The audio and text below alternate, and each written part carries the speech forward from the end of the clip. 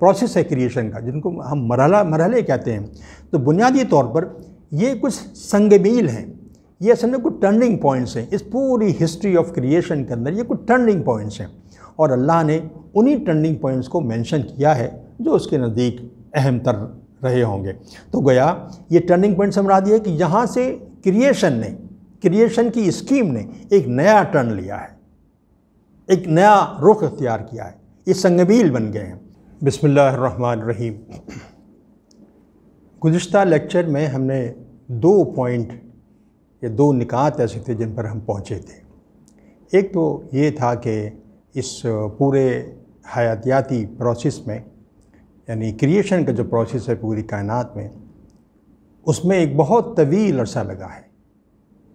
हवाले के लिए कुरान की आयत है लतासान ही मिनदहर इसके अलावा कोई और इतनी खूबसूरत और इतनी फिटिंग आ, कोई आयत नहीं है जो ये बता सके कि ये इसमें बहुत तवील अरसा लगा है नंबर एक। दूसरी बात ये कि ये हयात हयात का जो इरतका हुआ है ये मुख्तलिफ़ मराहल में हुआ है। कुरान ने लफ्ज़ इस्तेमाल किया अतवारा। तो गया एक तो मराहल तय हो गए थे कि ये इंस्टेंटेनियस नहीं है बल्कि मुख्तलिफ़ मरहलों में हुआ है और एक बहुत तवील अरसा लगा है। अब देखिए मुताले से हमने तकरीबन पंद्रह ऐसी असलाहें कुरान से अखज़ की हैं और ज़्यादा भी हो सकती हैं। तो ये पंद्रह असलाहें ऐसी हैं जो इस पूरे प्रोसेस के बाद बहुत इंपॉर्टेंट पहलुओं को नुमाया करती हैं। तो मैं इन असलाहों को मुख्तलिफ़ अदवार कहता हूँ। ये मुख्तलिफ़ अदवार हैं, मुख्तलिफ़ मरहले हैं। तो गया जैसे आगाज़, बल्कि इससे पहले ये बात बताना ज़रूरी है कि जितनी भी अशिया हैं, जो ज़िंदा अशिया हैं उनको उनके लिए पानी की बड़ी अहमियत है। पानी से पैदा किया गया है। मिसाल के तौर पर सूर्य अम्बिया में फ़रमाया गया वजालना मिनलमाई कुल्ल शैन हई। हर चीज़ हर शे को अल्लाह ने ज़िंदा किया पानी से। फरमाया अल्लाह खला का कुल्ला दाबती मिनलमाई हर जानवर को अल्लाह ने आ, पानी से पैदा किया। ये सूर्य नूर की आयत है। फिर फरमाया वहवल्लजी खला का मिनलमाई बशरन ये सूर्य फ़ुरक़ान की आयत है, इसमें फरमाया गया कि हर बशर को अल्लाह ने पानी से पैदा किया है। तो पानी की बुनियादी अहमियत पहले वाजह कर दी गई और उसके बाद ये जो पंद्रह निकात हैं, मैं इनकी वजाहत करता हूँ। मतलब पहला द मोस्ट इंपॉर्टेंट जो प्राइमरी जो गया कि स्टेप है, वो कुरान ने कहा कि हमने तुम्हें, यानी इंसान को, मुखातिब अल्लाह ताला इंसान से है हमने तुम्हें तुराब से पैदा किया। तुराब मीन्स सूखी हुई मिट्टी या मिट्टी की धूल। बाद लोगों ने इसको धूल कहा है। मिट्टी की धूल से पैदा किया। फिर फरमाया, दूसरा स्टेप ये जो तस्करा है, धूल का तस्करा, ये सूर्य फातिर में है। और फिर फरमाया कि हमने तुम्हें तीन से पैदा किया। इसका तस्करा सूर्य अनाम में है। तो आप ये समझें कि तीन जो है ना तो ये नून, तीन जो है ये तुराब और पानी का आमेज़ा है। जब तुराब में पानी मिल जाए तो उसको तीन कहा जाएगा। तो दूसरी जगह अल्लाह ने फरमाया कि हमने तुम्हें तीन से पैदा किया। आगे बताया कि हमने तुम्हें तीन लाजिब से पेशा से पैदा किया। तो तीन लाजिब जो है ये असल में आ, एक वो आमेज़ा है वो सयाल है जिसमें पानी तो है लेकिन पानी की जो तादाद है वो कम हो गई है। उसकी जो सैलानियत है उसकी जो फ्लूडिटी है फ्लूडिटी है, वो कम हो गई है। ये तीन लाजिब की कैफियत है। फिर आगे फरमाया, तुम्हें सलसाल और हमाई मसनून से पैदा किया। सलसाल उस मिट्टी को कहते हैं, जो कि इतना सूख जाए, इतनी इतनी खुश्क हो जाए कि उसमें से आवाज़ आवाज़ पैदा की जा सके। और हमाई मसनून स्याह गारा और ऐसा गारा जिसको कि हम मुख्तलिफ़ शक्लें दे सकते हों। तो ये शक्ल देने की पोजीशन में मिट्टी अब आई है, तीन लाजिब के मरहले से गुज़रने के बाद। ये गोया कि इसके बाद फरमाया, सलसाल सलसाल कल फ़खार। यानी ये ऐसी सलसाल है, ऐसी सूखी और खनकती हुई मिट्टी है, जैसा कि कुम्हार जिस मिट्टी को, जिस तरह से इस मिट्टी को कुम्हार हर तरीके से अपने चाक पर इस्तेमाल कर लेता है और उसको मुख्तलिफ़ शक्लें दे लेता, देता है। यानी उसमें एक चिपकन भी है और उसके अंदर फ्लूडिटी बहुत कम है। तो गया ये पाँच मरहले हैं। अगर आप जायज़ा लें, अगर सोचें तो ये पाँचों मरहले ज़मीन, जो मिट्टी पर हुए हैं, बुनियादी तौर पर एक फ़िज़िकल चेंजेस हैं, जो मिट्टी की कैफियत में आए हैं और मुख्तलिफ़ मराहल से गुजरते हुए। इन चार पाँच मरहलों का तस्करा मैंने यहाँ पर किया है। तो ये फ़िज़िकल चेंजेस है। इसके बाद अल्लाह ने फरमाया ये फरमाया है सूर मोमिनून में। ये बड़ी अहम अहम हवाला है। फरमाया एक लफ्ज़ इस्तेमाल किया अल्लाह ने सुलाला का, यानी मिट्टी का एक्सट्रैक्ट फरमाया कि अल्लाह ने इंसान को, तुम, या तुमको सुलाला से पैदा किया। ना, सुलाला जो है, वो मिट्टी का एक्सट्रैक्ट है, मिट्टी का सत है। अब ये सत और जो एक्सट्रैक्ट जो है, बुनियादी तौर पर उसमें से एक इसका सुलाले की मीनिंग में एक चीज़ भी आती है कि उसमें से निकाला गया। एक चीज़ दूसरी चीज़ में से निकाली गई। गोया इसकी नोयत यह है कि ये सेपरेशन है। एक चीज़ को दूसरी चीज़ से सेपरेट किया गया। अब इस शक्ल में ये मिट्टी नहीं है ये तीन नहीं है बल्कि तीन से निकला हुआ एक अलग से एक अलग एक, एक अलग से मादा है जो इसको सुलाला अल्लाह ने कुरान में कहा है। सुलाला के बाद जो अगला मरहला है वो नुतफ़ा का है।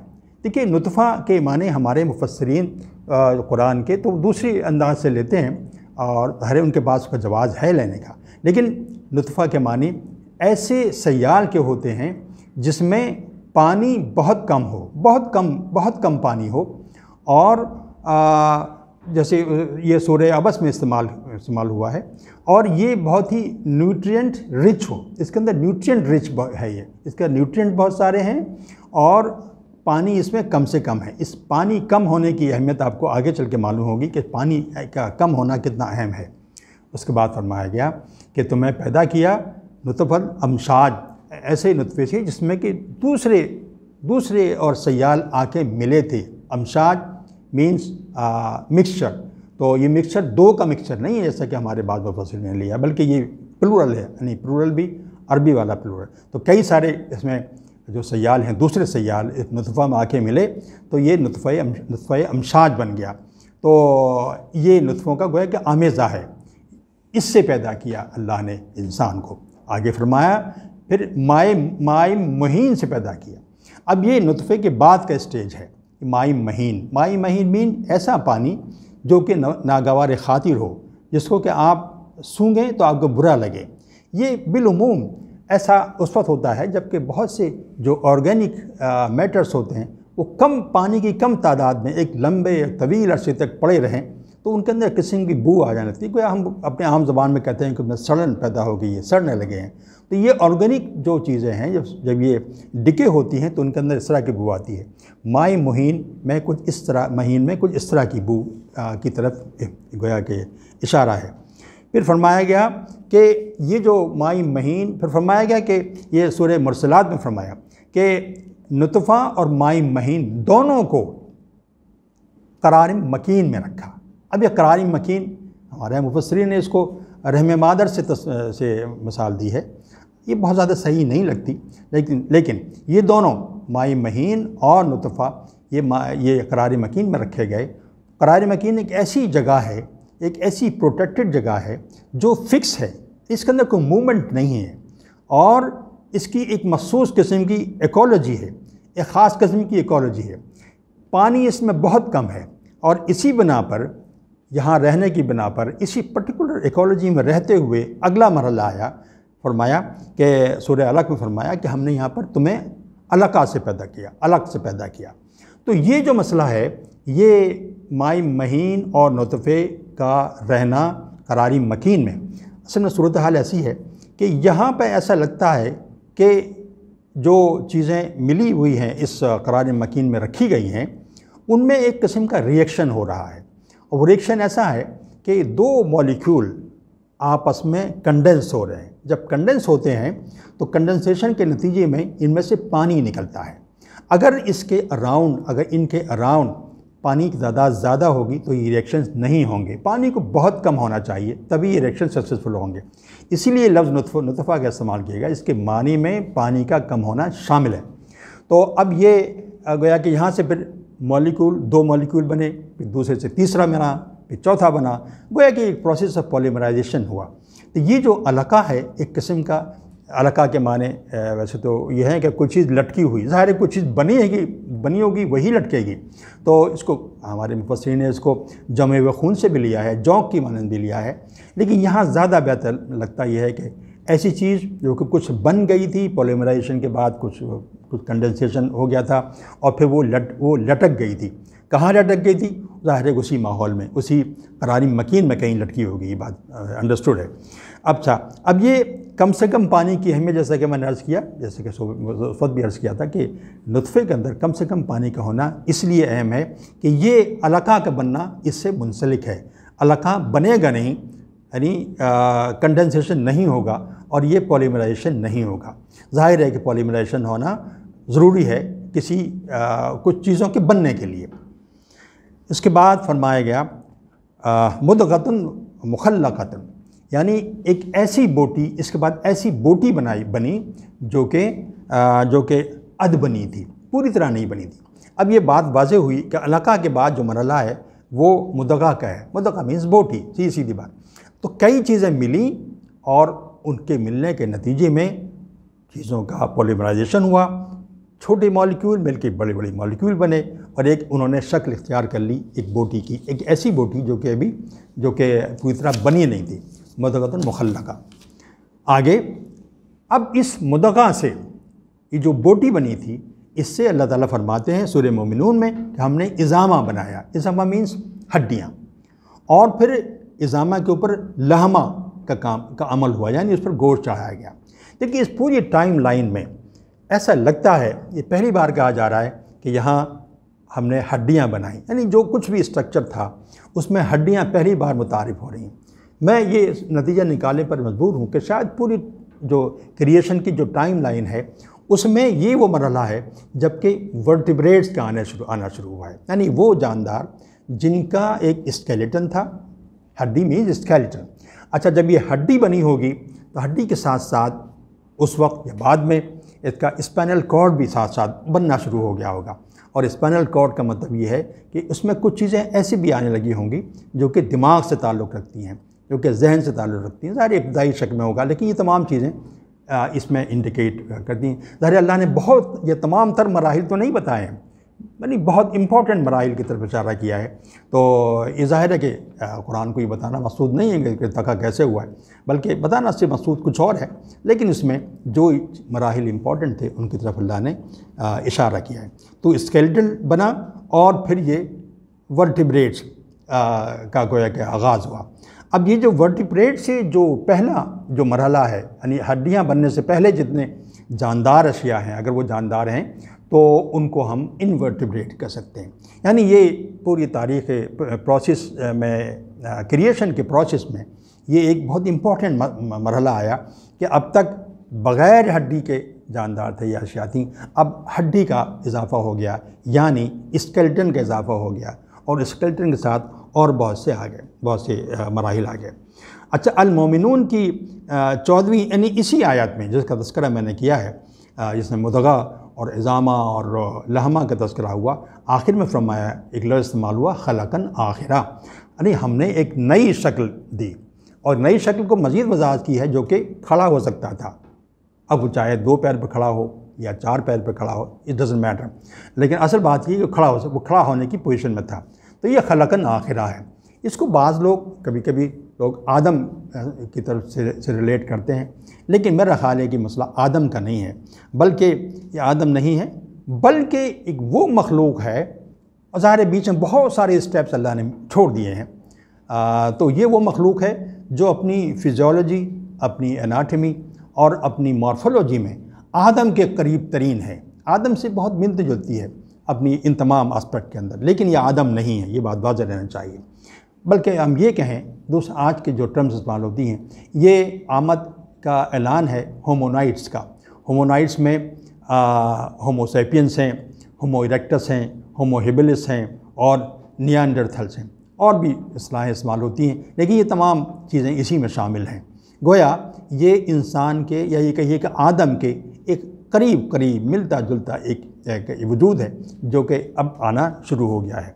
अच्छा फिर सूर्य आराफ की एक सौ नवासीवीं आयत में के आयत के अंदर अल्लाह ने एक आयत में अल्लाह ने फरमाया कि हमने तुम्हें पैदा किया नफ्स वाहिदा से। तो नफ्स वाहिदा जो है ये आ, कहा गया कि ये नफ्स वाहिदा से गया कि आदम की पैदाइश बताई गई है। आदम की पैदाइश नफ्स वाहिदा से हुई है। नफ्स वाहिदा क्या है? ये एक बहुत इंटरेस्टिंग सवाल हो सकता है, लेकिन इस पर हम अगले लेक्चर में कुछ डिस्कस करने की कोशिश करेंगे। तो नफ्स वाहिदा के बारे में तस्करा करते हुए अल्लाह ने फरमाया, ये आराफ की आयत है कि हमने तुम्हें पैदा किया, यानी कि आदम को पैदा किया, और साथ ही साथ तुम्हारा जोड़ा भी उसी से पैदा किया। हालाँकि हमारे यहाँ जो तफासिर में जो बात मुस्तमिल है, वो यही है कि आदम पैदा हुए और आदम से ही हवा पैदा हुई। नहीं, दोनों नफ्स वायदा से पैदा हुए। एक चीज़ और जहन में रहनी चाहिए कि जो नफ्स वायदा का जो लफ्ज़ है, ये मेरे मुताबिक की हद तक ये फेमिनिन है, ये मैस्कुलिन नहीं है, बल्कि ये इनफेक्ट इंसानी भी नहीं है। इसको, ये इंसानी नहीं है और न इसको उस टर्म में मुजक्कर मोनस की शक्ल में हम उसको क्लासीफाई कर सकते हैं। लेकिन ये, इसके बारे में ये तय है कि ये फेमिनिन जेंडर इसका है नफ्स वाहिदा का। ये एक ज़िंदा वजूद है नॉन ह्यूमन वजूद है। इससे अल्लाह ने आदम की पैदाइश की। किस तरह पैदाइश की? ये आ, कुछ स्पेकुलेशन से ज़ाहिर हो सकते हैं लेकिन ये इन हमारे अगले लेक्चर का मौजू होगा इन अब जो कुछ मैंने आपसे अर्ज़ किया है अब इसमें कुछ मैं कमेंट्स करना चाहता हूँ। इस पूरे जो पंद्रह निकाती या जो पंद्रह पॉइंट्स मैंने बयान किए हैं ये पूरी गोया कि खाका जो है इसका क्रिएशन प्रोसेस का उसमें कुछ निकात इंपॉर्टेंट हैं।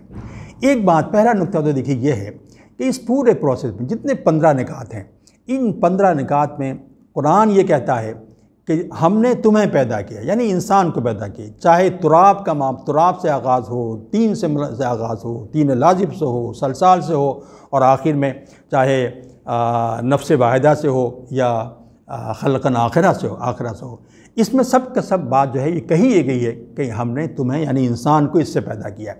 तो यहाँ कहने का मतलब ये है कि सेंट्रल जो, क्रिएशन में जो सेंट्रल थीम है पूरे क्रिएशन प्रोसेस के अंदर जो सेंट्रल थीम है वो बेसिकली इंसान है।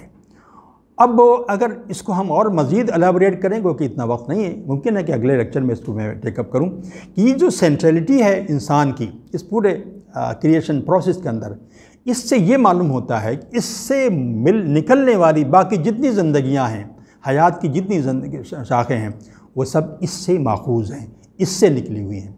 वो नहीं है जो कि हम जदीद उसमें पढ़ते हैं, जदीद जो एवोल्यूशन का जो तस्वुर है कि पहले ये और फिर ये और फिर ये, फिर बंदर और फिर चम्पैंसी और फिर ऐसा नहीं है।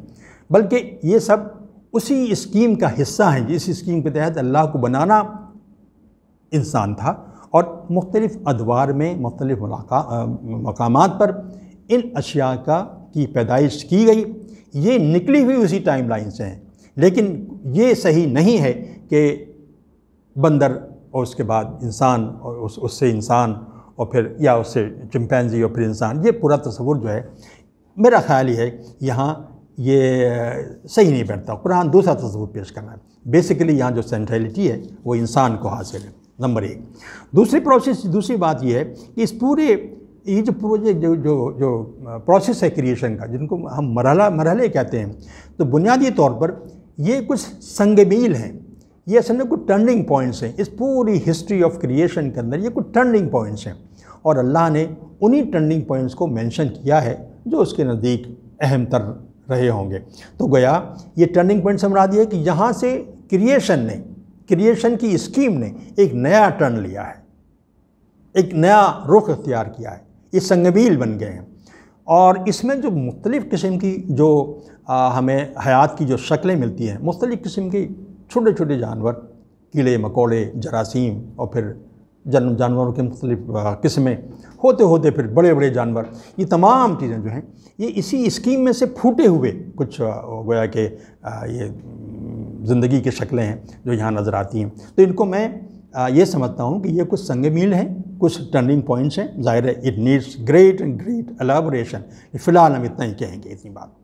अच्छा मुफसर कुरान ने बिलूम इस पूरे प्रोसेस को जिसका आगाज़ तुराब से होता है और फिर आखिर में आ, जो नफ्स वाहिदा से या खलकन आखरत तक ख़त्म होता है इस पूरे प्रोसेस को आ, उन्होंने लिया है कि जैसे ये यूट्राइन बेस्ड है। यानी जैसे ये रहम मादर में पूरा वाक़ हो रहा है। ये है तो इसके पीछे पीछे जवाब तो है।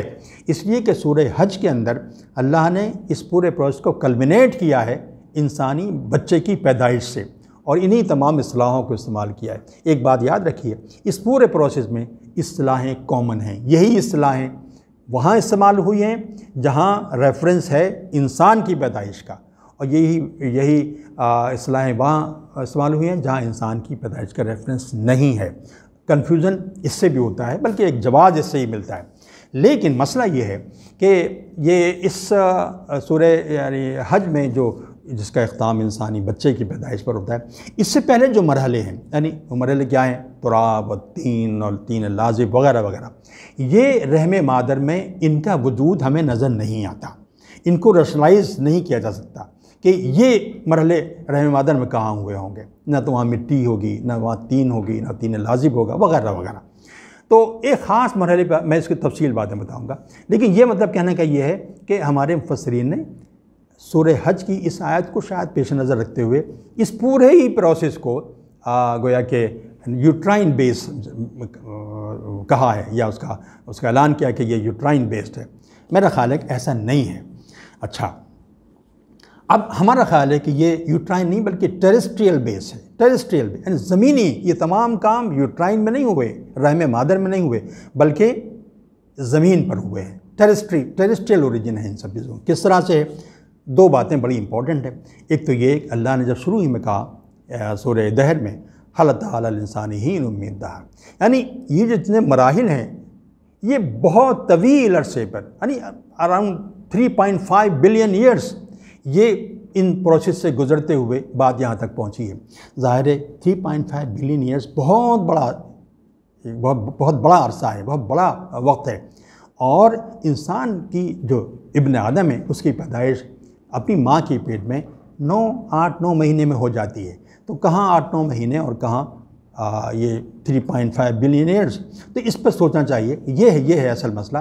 तो गोया ये हम समझते हैं कि ये पूरा अमल ज़मीन पर हुआ है, माँ के पेट में नहीं हुआ। अच्छा दूसरी बात यह है कि सूर्य मोमिनून में खलकन आखिरा तक, और जो बताया गया कि ये जो ये जो टेरेस्ट्रियल प्रोसेस है, इसको हम, इस पूरे को, यानी आदम की पैदाइश को भी, और खलकन आखरा की पैदाइश को भी। बहुत आसानी से हम टेरेस्ट्रियल ओरिजिन के एसेस से, टेरेस्ट्रियल फिनोमिना के एसेस से हम एक्सप्लेन कर सकते हैं, हमें कोई दिक्कत नहीं हो सकती। अच्छा अब देखिए सूर्य हज में, सूर्य हज में जो इसको मादर रहम मादर का प्रोसेस बताया गया है, मेरा अपना ख्याल ये है कि शायद ये पूरा प्रोसेस यकीन सही है, मादर, रहम मादर में हुआ है। लेकिन मसला ये है कि आदम के बनने के बाद ये पूरा प्रोसेस जो है वो आदम के बनने के बाद है। आदम की पैदाइश होने के बाद है। आदम की पैदाइश प्लस आदम का का पेड़ हवा इन दोनों के नतीजे में अल्लाह ने कहा, फरमाया कि हमने पूरी दुनिया, तुम उन्हीं की औलाद हो। तो गया उस प्रोसेस को ये आयत एक्सप्लेन कर रही है। उस पूरे मरहले को एक्सप्लेन कर रही है। और तो इसमें ऐसा मुझे लगता है कि वो जो कर्ण हाँ कर्ण पर मुश्तमिल जो प्रोसेस था जो 3.5 बिलियन ईयर्स तक चला है तो उसको अल्लाह ने जब आदम के बन जाने के बाद, अल्लाह ने उसको स्क्वीज़ कर दिया, उसको सकोड़ दिया, सकेड़ सकेड़ दिया उसको।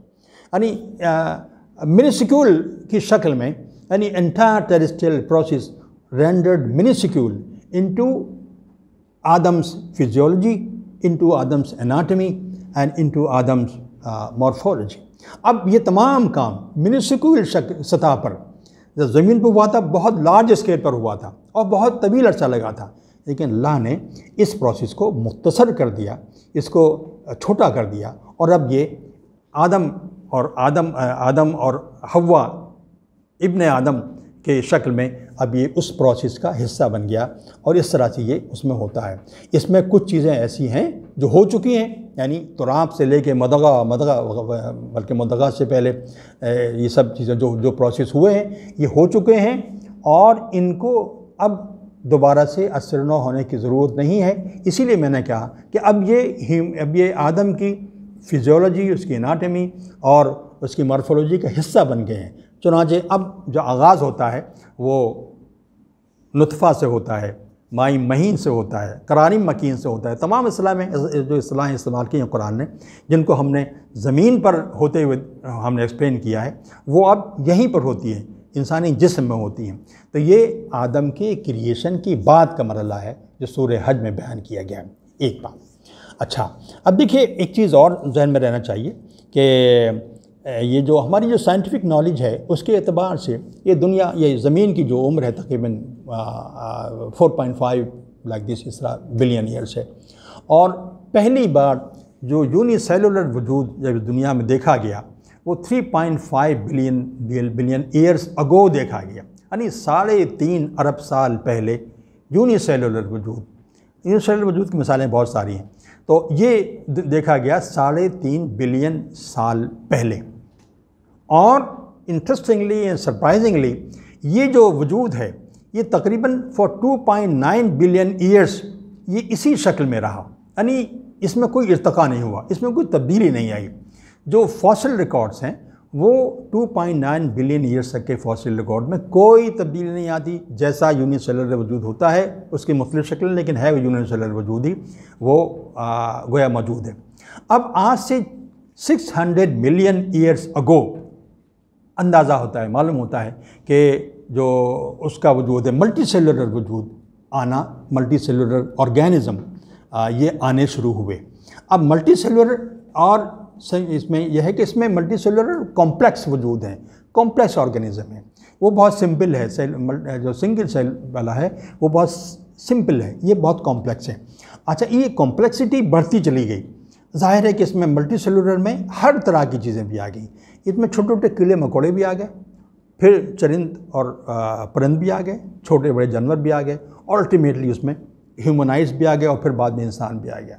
गोया ये जो मरहला है ये आ, ये 600 बिलियन मिलियन ईयर्स अगो शुरू हुआ। दोनों का जो फ़सल है 2.9 बिलियन ईयर्स ये बहुत तवील ज़माना है।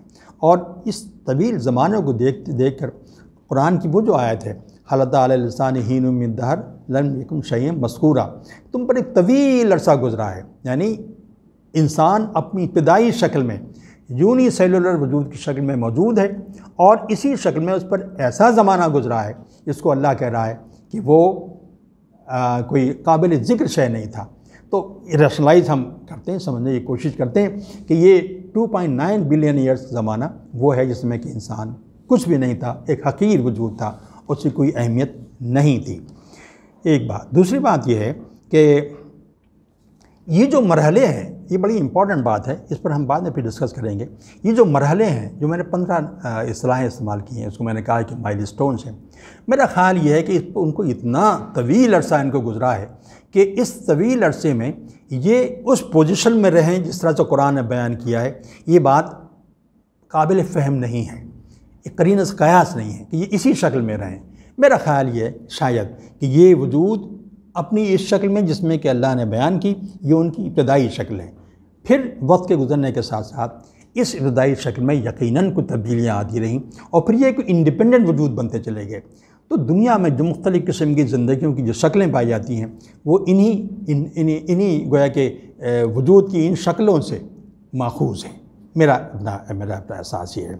अच्छा सुर मोमिनून में वर्टिब्रेट के बारे में तस्करा किया ही है वो बहुत वाज है। और कि ये जो वर्टिब्रेट जो पैदा हुए हैं ये ज़ाहिर है कि ये एक ख़ासा एक लंबे अरसे के बाद पैदा हुए हैं। और ये खलकन आखरा से पहले की वजूद पह, पह, पहले का मरला है।